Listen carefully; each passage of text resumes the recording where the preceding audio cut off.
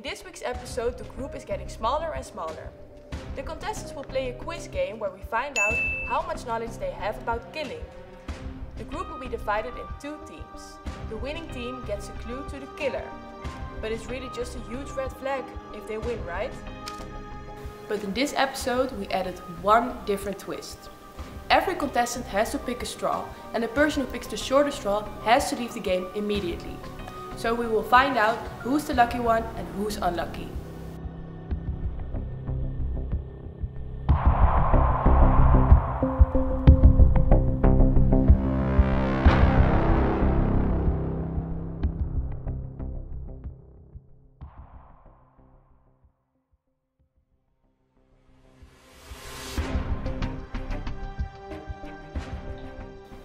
Unfortunately, you grabbed the shortest straw, Emma. Hmm, that sucks. So that means you have to leave the game. Okay, well, you want I'm it sorry. back? Or... Yeah, you can keep it. Oh, I'll keep it. Bye. Thank you so much. Thank you. Bye.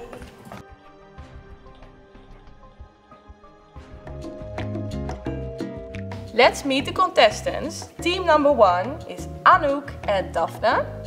And team number two is Cecile and Bente.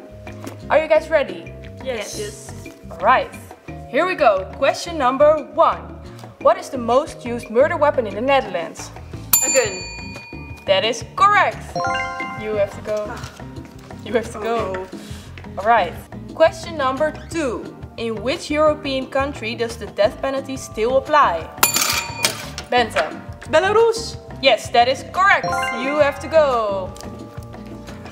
Okay. Question number three. What is the name of the serial killer whose story has recently been released as a Netflix series? Jeffrey Dahmer. That is correct. Okay. Question number four, guys. It turns out that many serial killers have the same zodiac sign. Which zodiac sign is this? Gemini. Gemini. That is wrong. You have to go. The correct answer is Virgo. Oh. Is anyone a Virgo here? Okay, good for you. Question number five. What was Ted Bundy's job during the time of his murders? Bente? Wasn't he like a gardener? No. Okay. Do you know the answer? No, I don't know. The answer is he worked at a help desk for suicidal people. Oh. Okay, Cecile. Question number six. The answer that's closest to the correct answer gets a point here. How many people got murdered in the Netherlands last year? 600. No. 200. The correct answer is 133 people, so you get a point. Right, question number eight. Which city has the most murder cases in the Netherlands? Bente. Rotterdam. That is correct. Hey. You have to leave. Alright. Question number nine. There are four possible correct answers to this. If you get one right, you get a point.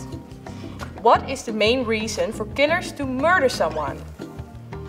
Bente. Jealousy. That is correct.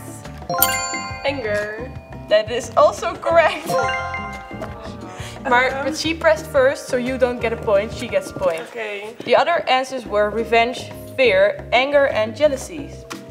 Current score is Team 1 has 2 points and Team 2 has 3 points. We'll go to the last question. Are you guys ready? Okay. Who was the first known serial killer? Ever. Say something. You can, you can discuss with your teammate. Moeten we daar overleggen? Oh nee, wat is dat? Ja, ja, overleggen. Oké, wel overleggen. Willem Holleeder. You say Willem Holleeder. Yes. That is not correct. Do you know? No idea. The correct answer is Henry Howard Holmes, also known as H.A. Holmes. H.A. Okay. Okay. You didn't get the answer right, so that means you guys win. So that was it for the quiz. Now the contestants have to take a test about the killer.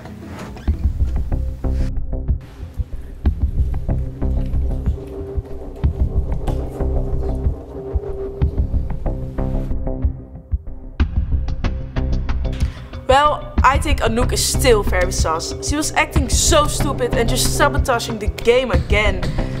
It's just, it's just all so clear, you know?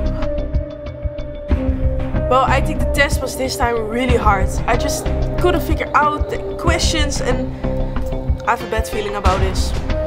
Well, I still think Cecile's the killer because she got so many answers wrong.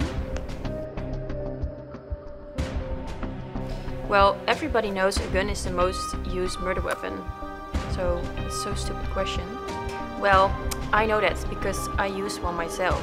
Hmm? Sure, it's Daphne. I just know it. I just know it's Daphne because why does she know so much about killing? I heard Cecile is out to me. I think that's really suspicious. She just wants to distract the others.